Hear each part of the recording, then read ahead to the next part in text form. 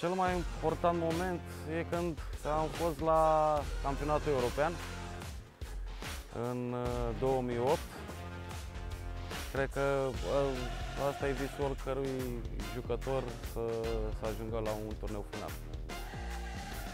Cel mai important meci pentru mine a fost uh, meciul cu Ungaria, în care am marcat o dublă, meciul de acasă din Ghencea. Era un meci cu o presiune foarte, foarte mare, toată lumea aștepta acest meci și din fericire pentru mine am reușit să, să marchez ambele goluri.